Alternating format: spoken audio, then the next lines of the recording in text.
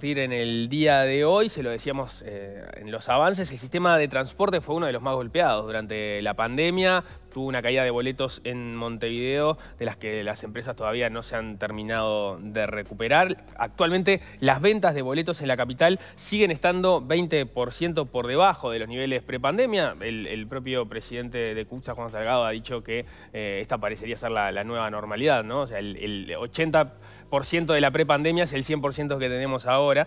Eh, ¿Cómo influye esto en el precio del boleto? ¿Qué alternativas hay para hacer que el sistema, el sistema, de transporte público sea más atractivo y capte nuevos usuarios? De eso vamos a estar conversando con el propio presidente de CUTSA, Juan Salgado, a quien ya tenemos con nosotros en estudios. Bienvenido, ¿cómo le va? Bueno, un gusto estar siempre con ustedes. Bienvenido. Bienvenido Muchas gracias. gracias. Usted también es presidente de la Cámara de Transporte, ¿correcto? Sí, señor. Así que capaz que antes de entrar en el tema que, que nos convoca, recogemos el, el guante que, que tiraba Leonardo Leonardo, a propósito de la situación de, COPSA. Eh, ¿qué, ¿qué, se puede decir? ¿Por qué se está en la situación en la que se está?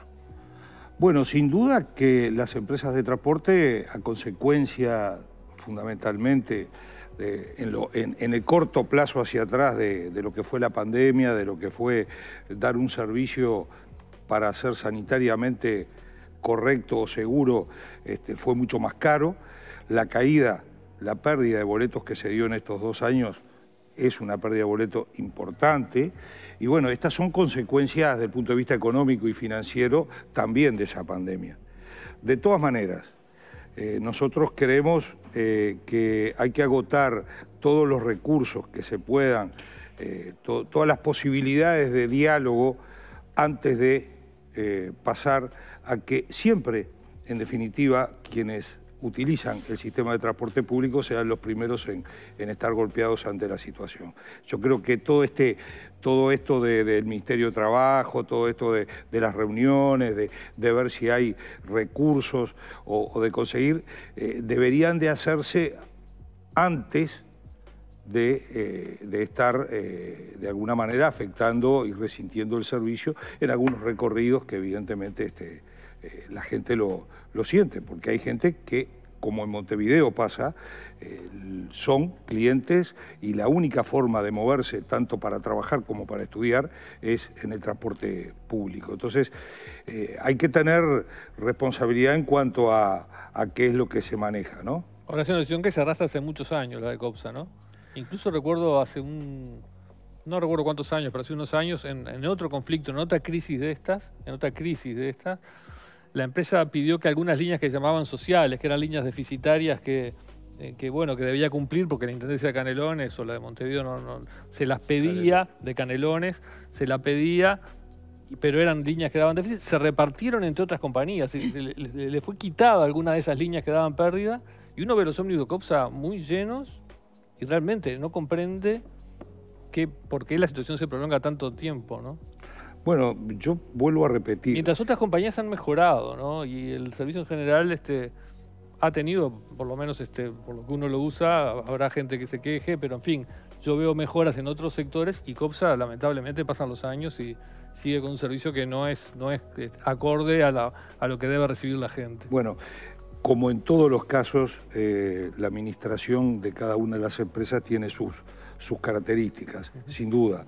Pero, pero bueno, eh, el, entretejido de los recorridos de un sistema de transporte, sea urbano o suburbano, eh, tiene que una empresa eh, tiene un, equilibrio entre algunos recorridos que son más productivos, Montevideo, llámese un 121, y otros recorridos que son netamente sociales que a veces ni siquiera recaudan para, para pagar el, el, gasoil que gastan, ya no hablemos de los jornales.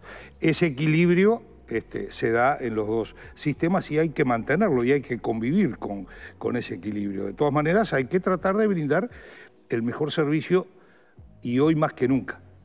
Eh, con estos anuncios que se hacían del 80%, del nuevo 100%, para nosotros está definido que este es el nuevo, el nuevo 100% en el corto y en el mediano plazo. Hay dos variables que se tienen que tener en cuenta fundamentalmente. Una es la calidad del servicio, hay que seguir apostando a pesar de tener menos recursos, a pesar de, la, de, la, de las situaciones que están viviendo todas las empresas de transporte en general. Este, para decirles por qué. En el 2002 la crisis del 2002, en el segundo semestre y en el primer semestre del 2003, el sistema de transporte de Montevideo pierde unos 19 millones de viajes, 19 millones de viajes que no se hicieron en ese tiempo. En estos dos años, el sistema de transporte de Montevideo perdió casi 100 millones de boletos, para ver la magnitud de lo que estamos este, hablando, con un servicio que para ponerlo en forma sanitariamente segura, hubo un, aumento en los costos tremendo, la sanitización, el amonio cuaternario, el, alcohol en gel en todas las unidades, eh, este, los tapabocas, bueno, las limpiezas en las terminales que se hacían, todo eso termina en generar eh, al, sistema de transporte hoy eh, una situación muy especial. Este nuevo 100%, este nuevo 100%, que es ese 80%, es lo que tenemos que tratar de eh, convivir apostando a esa calidad de servicio, a seguir mejorando este, la, la, flota, a seguir mejorando las frecuencias, yo sé que es difícil, porque se nos hace difícil, pero hay que hacerlo. Y la otra variable que hay que tener en cuenta, que también acá la nombraban con mucho acierto, es la variable del precio. El precio del boleto es hoy mucho más sensible de que fue en toda su historia. ¿Por, eh, qué, es más sensible? ¿Cuáles son las variables que, lo vuelven más sensible? Bueno, porque cuando el mercado eh, cae de la forma que cayó, nosotros ya lo vivimos y es por experiencia ya vivida, el aumentar el precio, o sea, el usar la variable de aumentar el precio del boleto para, para poder este, recaudar más, este, en definitiva termina que a fin de mes en las cajas de las empresas hay menos dinero porque el mercado no tolera más. El mercado no tolera y cae. Y realmente el transporte debería de hacer todo el esfuerzo, y lo estamos haciendo, para mantener ese tema del precio. En Montevideo, en marzo del 2017, el boleto costaba 33 pesos. Hoy el boleto al usuario frecuente, que se buscó la forma de que el usuario, o sea, de que el que utiliza el transporte público, el que hace más de determinada cantidad de viajes, tenga un precio diferencial pagando con la tarjeta. Hoy paga 36. O sea, en cinco años, tres pesos de aumento refleja claramente que hubo un esfuerzo muy grande, no solo de las empresas, hubo un esfuerzo muy grande del, del gobierno nacional y también del gobierno municipal para tratar de que ese precio estuviera contenido. Teniendo en cuenta... ¿36 o 39? 36. Hoy 36, 36 pesos el usuario frecuente. Ah, el, usuario frecuente. O sea, no el que usa la STM, sino el que lo usa con, este, más de 40, Con 40 viajes. O sea, en definitiva, el que es cliente y utiliza prácticamente todo va a trabajar todos los días. Todos los días. Eso es 36 pesos. Entonces, este, eh, ahí es donde, ahí donde, donde tenemos que, que, tratar de mantenernos. Esas no son las variables. Las variables hoy, para adaptar a las empresas a que puedan dar el servicio con calidad, y que se pueda mantener ese precio, eh, son otras. Son este, eh, variables que tienen que ver con buscar la forma de, cómo transitar eh, en Montevideo o en el área metropolitana, cómo utilizar los recursos que tenemos este, de, la mejor, de la mejor manera, cómo buscar que nuestra flota eh, comience a ser más económica, si no es en la compra, pero es en el mantenimiento, de tener menos, menos costos por ese lado, todo para apuntar a que, bueno, a que sea normal el servicio, que sea en buenas condiciones y que sea lo más económico, yo diría, lo, que la gente hoy puede, puede pagar. Esa es la realidad. ¿Y hay alguna estrategia definida para intentar captar em, a nuevos usuarios, no solo los que se perdieron, usted recién decía, la gente que va a trabajar, que va a estudiar, pero intentar seducir también a aquel pasajero que igual teniendo su auto, le es atractiva la idea de usar el transporte colectivo por una cuestión ambiental y por una para descongestionar, porque sí sea más barato que usar el auto, como pasa en, grandes países punteros en el mundo, donde la gente, a pesar de que tiene su auto para los fines de semana, lo que sea, consume mucho el transporte público porque hay buenas rutas, porque el estado de la flota es aceptable, está limpio, la regularidad también con la que eh, pasa es la acertada. ¿Qué crítica hace a esta situación en términos generales para ir a nuevos usuarios? Bueno, eh, fundamentalmente eh, nosotros estamos trabajando en Montevideo con, las autoridades de la Intendencia buscando de que se hagan intervenciones, intervenciones urbanas, fundamentalmente en brindarle con los recursos que tenemos, que son diferentes a los de otros países para hacer otras obras, con los recursos que tenemos, eh, carriles o canales exclusivos para darle más velocidad. ¿Qué, tenemos que darle al transporte para competir, por lo menos en una primera etapa? Bueno, buenas unidades que hay. El transporte en Montevideo hoy tiene la, flota más nueva de la historia del transporte. Eh, de todos los tiempos. Hoy hay 280 unidades con aire acondicionado que, que, no se pudieron prender y que este va a ser el primer verano después de dos años que se va a poder utilizar el aire acondicionado. Este, ahí, ahí eh, eh, las mil unidades que tiene Cucha en Montevideo tienen todas Wi-Fi, están conectadas y se utilizan, tienen puertos USB este, tenemos en, prácticamente en casi 200 unidades repartidos en el, en el salón. Eso es la calidad. Después, hay que darle la facilidad para esos recursos. Cuando yo digo este, utilizar mejor los recursos que tenemos, es eso, que la flota que está en la calle pueda darle al pasajero este, menor tiempo entre origen y destino en un viaje, que pueda ser más rápido, que en definitiva sea ágil, sea más rápido que en el auto. Pero eso todavía no se da. Necesitan de determinados acuerdos. No se da porque algunas de las experiencias que tuvimos no fueron las, no fueron las mejores.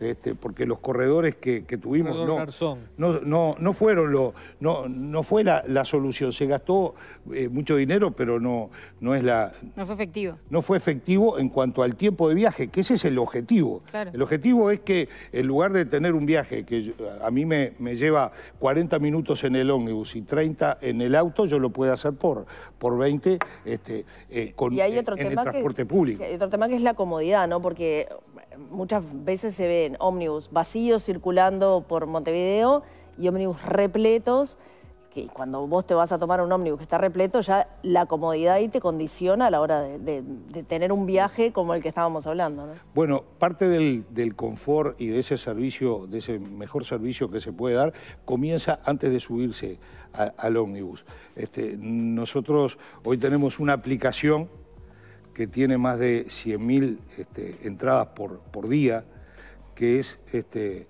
es, ver, pero en forma real, no ¿A qué hora exacta pasa la unidad por la parada? Yo ahora decido que me voy a tomar un, ómnibus acá en San Martín y entonces este, veo a qué hora va, a pasar el, no sé, el 156 por, por, San Martín y voy a la hora que, pasa. Es un tema que contribuye inclusive a la, a la propia seguridad del, del pasajero y, muchísima gente lo está usando y lo valora, este, realmente lo valora, lo valora mucho. Es parte, es parte de, esa, de esa calidad del servicio y de esa decisión que puede haber. Hay lugares en Montevideo, hay, eh, nosotros estamos viendo que la Intendencia ahora va a llevar adelante una serie de, medidas en las cuales hay anunciado algunos algunos semáforos. Nos parece sensacional.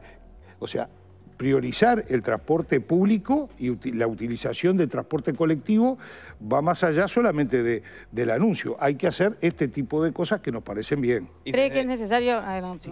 Desde la perspectiva de, de, de CUCSA o del transporte público, eh, cuáles son las vías que usted entiende que habría que atacar más rápido. Yo lo escuchaba decir en alguna entrevista, si usted hubiese arrancado con el tema de los corredores, la última obra lo hubiese hecho en, Corredor Garzón y la penúltima en General Flores, que fueron las dos principales sobre las que se trabajó. Este, para usted, ¿dónde están las, principales arterias en las que hay que trabajar? Nosotros siempre decimos que cuando traemos este, una, una idea o vemos algo en el exterior, después hay que adaptarlo a, a nuestra idiosincrasia, ¿verdad? Pero es más, este, no la misma solución ni siquiera es igual en, los distintos corredores, porque tenemos una limitante que es la parte geográfica. Ah, tenemos corredores principales. Rivera, desde propios hacia el centro, tiene unas características especiales desde el punto de vista geográfico, que es diferente a Avenida Italia, evidentemente, y es diferente a 8 de octubre, por, las características, por la, por la zona comercial. Este, bueno, yo creo que lo que hay que empezar a hacer es, este, evidentemente, todos nos gustaría eh, la gran obra de eh, Avenida Italia hasta el kilómetro 32, eso sería, esa sería una obra realmente. Pero eso lleva tiempo. Eso... De la cual se habla en las campañas electorales y después pasa hasta la próxima campaña electoral y no se habla más y la próxima se va a hablar. Yo una vez, yo una vez dije, hablé del, hace, hace unos años hablaba del tren de la costa, que desde que yo era chiquito este, yo sentía hablar del tren de la costa. Hoy ya no, ya no se precisa el tren, este, hoy lo que se necesita son vías exclusivas para ponerle este, ómnibus que se aproveche. Y ahí el espacio geográfico está en Avenida. Y ahí está. ¿Y entonces? Eh, ahí está el espacio geográfico y ahí es lo que hay que hacer. Y, ahí los pasajeros. Hay, y ahí hay otra cosa. Y ahí hay otra cosa. Y hay los viajes de toda esa zona del área metropolitana, de lo que es la, costa, costa de Oro y, y, lo que es Anastasio y todo. Los viajes no, o sea, no bajaron pero ¿qué pasa? Se trasladaron al auto. Entonces, ahí, si nosotros le damos mayor velocidad, le damos mayor confort, le damos en, alguna, oferta, en, en algunos lugares estacionamiento con servicios para, para poder dejar con seguridad el auto y de allí en adelante seguir en el transporte público, sin duda, sin duda que vamos a estar compitiendo con el auto. Este, eh, el transporte tiene dos grandes competidores, el auto y en el precio la bicicleta, la moto y, los que andan a pie, que con eso realmente se ha competido muy bien con el boleto de, una hora, que ha sido una buena, este, vamos a decir, un buen empujón en su momento y hasta el día de hoy el boleto de una hora ha sostenido parte, de, parte del mercado. ¿Y por qué no se hace la obra esta? Bueno, creo que hay que tomar decisiones. Lo que pasa que eh, en este último periodo, tanto el gobierno nacional como el gobierno departamental eh, estuvieron los, casi dos años y medio metidos en, una, en, otra, en otra situación que no da. Y esto realmente, esta obra necesita de, un tiempo, no, no, se puede hacer en seis, en seis meses, pero yo creo que se va a tener que quedar, porque además la inversión que se puede, porque a veces uno piensa, y habla de, inversiones que son casi imposibles llevar adelante por el mercado que tenemos. Pero esa inversión es posible porque está fácilmente para poder hacerlo. Y hoy no se necesitan rieles, no se necesitan cables, no se necesita. Hoy se puede poner este, coches eléctricos en, ese lugar y en definitiva contemplamos todas las cosas, contemplamos el medio ambiente, contemplamos este, la rapidez y el transporte pasa a dar una respuesta para este, que sea una alternativa al transporte individual, que cada vez está peor y todos los meses este, aumenta la cantidad de coches en la, en vía de circulación y hoy ya no hay ni a favor de la carga ni en contra de la carga, no hay horas pico. Hoy eh, Montevideo está así, cada vez es más difícil circular, no solo en ómnibus, en auto también. Esa es la realidad. ¿Y cree que tanto desde el gobierno departamental como también el nacional se podrían impulsar eh, algún tipo de políticas que favorezcan de manera profesa el, tránsito en, transporte colectivos, dejando a un lado lo individual? Como por ejemplo las chapas que se han hecho en Argentina a veces, ¿no? Las chapas que terminan en tal número no salen a la calle tales días, en fin, algo más restrictivo. Yo creo, yo creo que la, primera medida es buscar de darle facilidad a la circulación las intervenciones que se pueden hacer dentro de la ciudad es la primera medida que se puede hacer para facilitar de que el transporte público tenga su espacio y eh, se pueda apuntar a, lo que se llama democratizar el espacio público. Eh, realmente eh, hay muchísima gente, son cientos de miles de viajes que se hacen diariamente que la gente utiliza el transporte público. Y para esos dos motivos fundamentales, porque el ocio viene este, muy, muy, muy abajo, es trabajo y es eh, estudio. Y, bueno, como han cambiado este, algunas, algunas modalidades en cuanto al trabajo, trabajo, trabajo este, eh, a distancia, el estudio y todo lo demás, eh, parte de eso es ese 80% que hoy tenemos, ese 20% de rebaja, que no creemos que se vaya a recuperar eh, en, el, mediano plazo. A lo que me refiero en realidad es que esta saturación de autos que tiene Montevideo podría ser un factor que impulsara de alguna manera, si está en coordinación con políticas, la mejora del, del- del transporte colectivo. ¿Eso lo ve viable o no? Sin duda, sin duda. Y hay, y hay, eh, hay algunas acciones que se pueden llevar sin grandes ¿Como cuáles? Este, bueno, por eso, canalizar. Ahora, después que se canaliza, después que se le da una vía exclusiva al transporte, que a su vez no es darle al transporte, eh, también eh, quedan las vías exclusivas para los autos. Lo que hay que hacer es controlar. Y en eso también la Intendencia ha anunciado que va este, a buscar de hacer controles. O sea, no, no basta solo con hacer la- el carril de Avenida Italia Sí, como que nadie se lo hizo. respeta a nadie. Porque se hizo, se hizo, inmediatamente todos pensábamos que se iba a respetar menos y se respetó bastante, pero se respetó bastante más al principio. Pero después, sin duda, tiene que haber controles. Pero hay, claro, los, los- los carriles solo bus, por ejemplo, Sí. tanto como los carriles de bicicleta, se ven autos estacionados en los carriles de bicicleta, en los carriles de solo bus. O sea, en realidad eh, hay algo que ahí está fallando. Los controles, los controles. O sea, eh, si se hace... los carriles son las soluciones para, para darle agilidad al tránsito, que son los grandes problemas que tiene las ciudades, con los recursos, con, con los mínimos recursos posibles. Porque en definitiva, con un poco de pintura, eh, se hizo el carril. ¿Qué hay que hacer después? Hoy, con la tecnología, Hoy, hoy, hoy que no se necesita poner un inspector cada tres cuadras este, que sale costoso eh, para, para controlar. Hoy con la tecnología después es controlar, que se respete el carril. Y, este, y bueno, y ahí seguramente, seguramente se podrá bajar un 30% el tiempo de viaje. Lo que Eso pasa que el carril- multiplicado es muchísimo. Lo que pasa es que el carril de solo ómnibus de Avenida Italia se, se pintó la raya, como usted dijo, Sí. y no se hizo nada más nada. Si no se generaron estacionamientos para que la gente pueda Bueno. dejar el auto, no se, no se amplió el espacio para los autos, en definitiva no se tornó atractivo usarlo, se enlenteció mucho el tránsito de autos. No se, no se hizo el tema de los semáforos No se- que hoy se, que hoy se quiere llevar adelante para, para agilitar, porque ¿de qué sirve eh, yo tener velocidad en cinco cuadras y después llego y no tengo la prioridad de- del, del semáforo? Exacto, entonces la gente no lo entendió. Es un ¿no? trabajo, es un trabajo a media. Bueno, pero yo creo que, yo creo que ahora está encaminado, o por lo menos nosotros este, nos pareció muy bien la última, la última, este, los últimos anuncios de la Intendencia en cuanto a los semáforos inteligentes, en cuanto a eso, para hacer algo que en definitiva este, sea el carril, sea el semáforo inteligente, sea los controles, para que al final sea un trabajo completo. Claro. Esa la- esa- eso es lo que nosotros queremos. eh, Yo creo que nadie, ¿no? Si, si va a poder viajar cómodo, en hora, rápido, y leyendo el diario, o escuchando. eh, manejando la laptop. Estudiando, manejando la laptop, este, adelantando trabajo, todo el mundo va a querer hacerlo. Como pasa en todas partes del mundo. ¿no? Claro, pero bueno, si no se da, es muy difícil. ¿no? Este, Bueno, nosotros, este, nosotros estamos eh, de alguna manera tratando no de, de esperar, sino querer ser protagonistas e impulsar ese tipo de cosas porque sabemos que parte de mejorar ese 80%, vuelvo a decirlo, no en el corto plazo, es eh, justamente salir a eh, competir fundamentalmente con el auto. Está dominado, y el tema hasta ahora lo venimos trayendo bien, el tema del precio.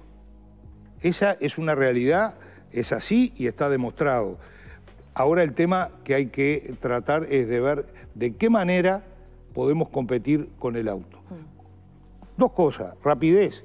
La segunda, seguridad, qué hora pasa, las frecuencias. Son las dos cosas fundamentales Y comodidad también, ¿no? y bueno, y tener comodidad los coches. Eh, realmente, realmente Montevideo tiene una flota este, realmente hoy eh, muy, muy buena en general y eh, si hay algunas cosas que la pandemia, no solamente lo negativo, nos ha dejado algunas cosas buenas es el, el sistema, el sistema sanitario. Eh, realmente las unidades, o sea, hemos mantenido y seguimos manteniendo eh, determinados niveles y estándares de, de- de sanitización. Sí, de- eso está claro. Me refiero cuando si tenés que viajar media hora parado, capaz que ya Ah. no lo elegís. Bueno, eso, justamente. Pero para eso este, no solamente es aumentar cantidad de, aumentar cantidad claro. de unidades, sino aprovechar las que, las que están. Eh, lo- eh, a ver, yo hace muchos años trabajé en el ómnibus, ¿no? Los tiempos de recorrido entre, entre Manga y, este, y la aduana eran unos en ese momento. Hoy, hoy es un 20% más. ¿Por qué? Porque los ómnibus van más despacio, porque no, si son mejores máquinas, andan más rápido, son más modernos. El tema es que en la calle no se puede, no se puede circular. Cada vez es mucho más lento este, todo el, todo, todo, todo, toda la circulación, autos y ómnibus. Salgado, usted eh, recién mencionaba a la intendenta Cosi, usted ha atravesado como presidente de CUTSA distinta cantidad de administraciones municipales, fue muy amigo del expresidente Tabaré Vázquez, eh, y en una entrevista publicada hace unos días en el diario El Observador, usted decía que COSE quiere parecerse a Vázquez.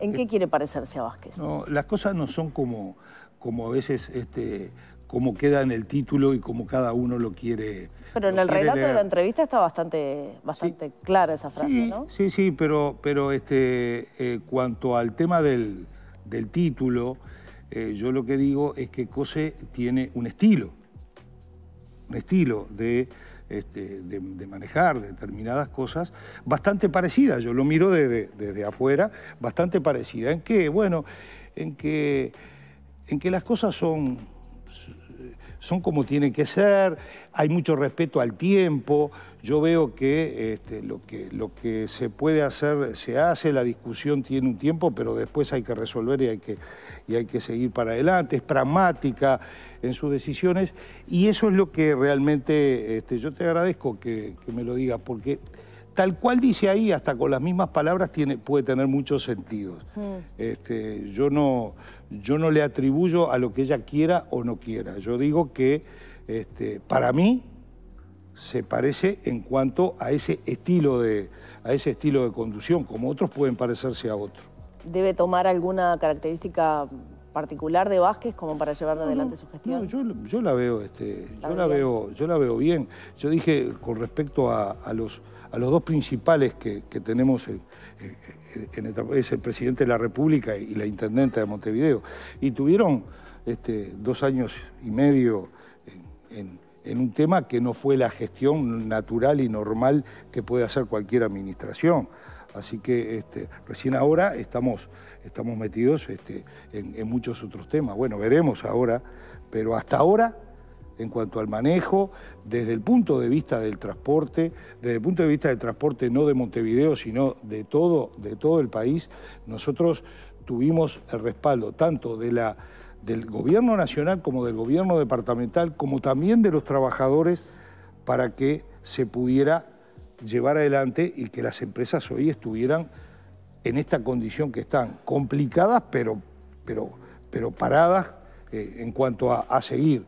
100 millones de, viajes solo en Montevideo no es, no es menor, son casi cinco veces más la pérdida de lo que fue aquel 2002, que, que fue una, situación realmente muy difícil para todos, y esto solamente se llevó adelante y solamente las empresas están este, con la capacidad de seguir peleando porque hubo responsabilidad de todas las partes. ¿Qué piensa cuando se cuestiona el fideicomiso de los combustibles? Bueno, eh, en primer Sobre lugar... todo porque desde el interior de la República que dice que se apoya algo que termina siendo aprovechado por los montevideanos. Sí, bueno, eh, a ver, en primer lugar, esto no es unos contra otros. Si hay, si hay un recurso que se logró brindar directamente a quien necesita y utiliza el servicio, es este, en el transporte. ¿Por qué? Porque está a, las claras está en el, en el tema. El, boleto, el precio del boleto, que cueste 33 hace 5 años y hoy 36, no, no, es magia porque los salarios siguieron aumentando, porque todos los repuestos siguieron aumentando, el mantenimiento también siguió aumentando.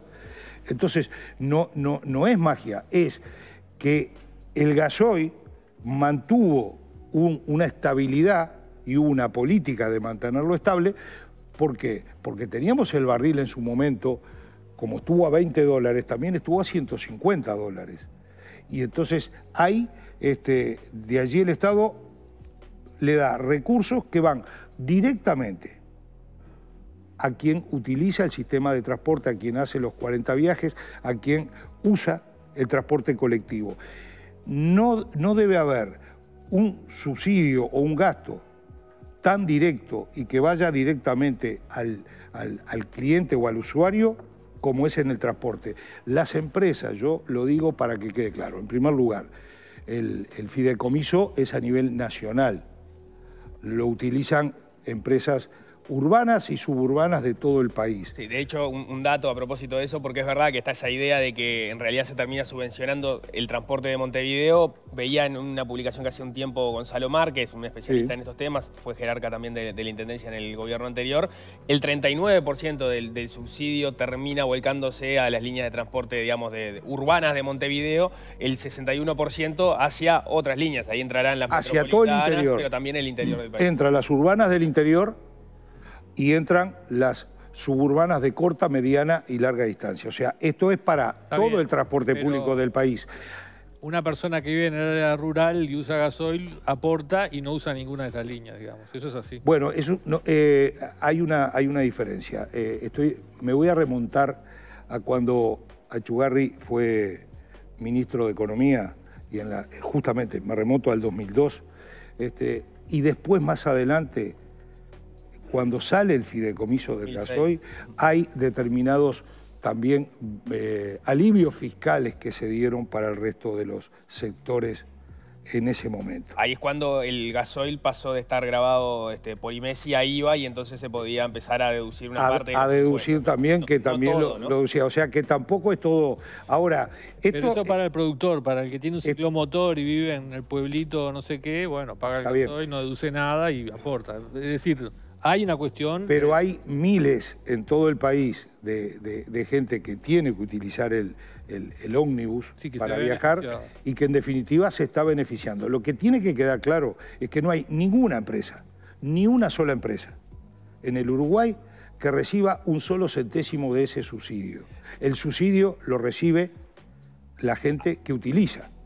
Está bien, ahí, o sea, ¿cómo funciona el, subsidio para las empresas? Es, en vez de comprar en el precio de surtidor, la empresa lo termina comprando a un precio que está fijo, eh, no sé, 13 y poco pesos por litro, y eso no, no cambia, aunque cambie el precio de gasoil, aunque vaya a aumentar. No cambia, si aumenta o baja, no cambia. Ahí la pregunta es, eh, o son, son, son, son varias, primero, si es, este, si está, si no hay que repensar las fuentes, como eh, plantea Leo, de quiénes son los que terminan pagando ese subsidio, si es, lógico que sea el, a través del gasoil que se recaude este, es el dinero del fideicomiso.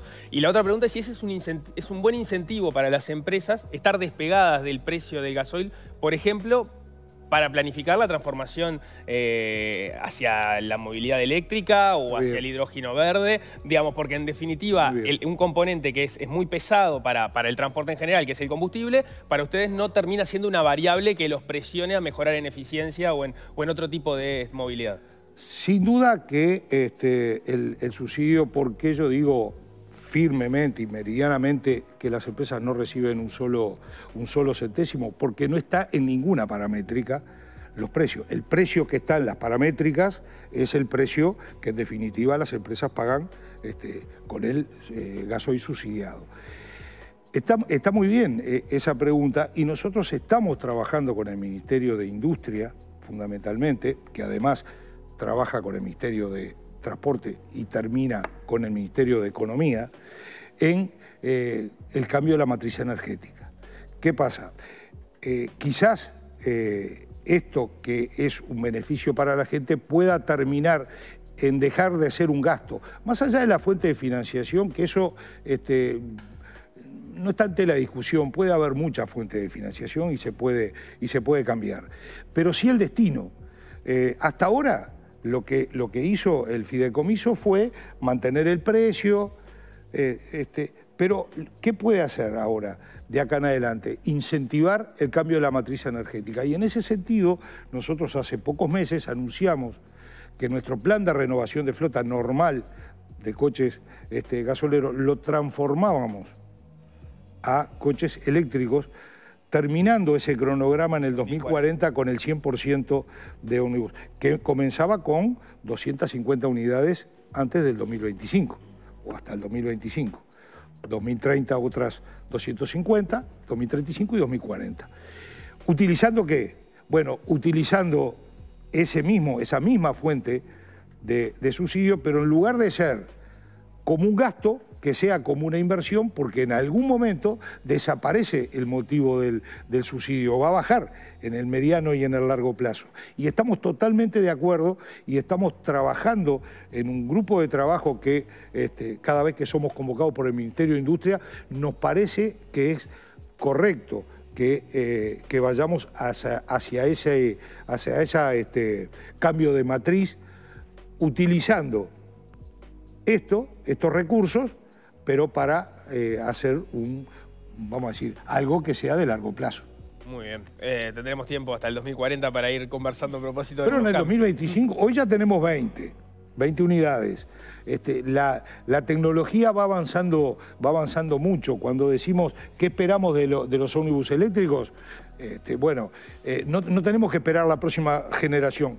En dos años va cambiando todo. una pregunta que me hago es si deben ser eléctricos o deben ser con hidrógeno verde, ¿no? Los dos. los dos. Porque eh, hoy el eléctrico eh, tiene, tiene determinadas virtudes y, determinadas seguridades en cuanto este, al, funcionamiento en lo que es área urbana y área suburbana en algún caso. Pero corta, mediana y larga distancia, más camiones, allí eh, es el hidrógeno el que, el que puede hacer. Así que las autoridades están trabajando en el tema, nosotros estamos tratando de, estar cerca porque es un tema que nos interesa y creo que van a tener que convivir los dos. La electricidad, por un lado, que parece lo más razonable, y este, el, hidrógeno verde eh, por el otro para los trayectos largos. Juan Salgado, presidente de CUTSA, muchísimas gracias por esto. Un gusto estar con usted siempre. ¿eh? Muchas gracias por la invitación. Nosotros tenemos que hacer el primer corte de...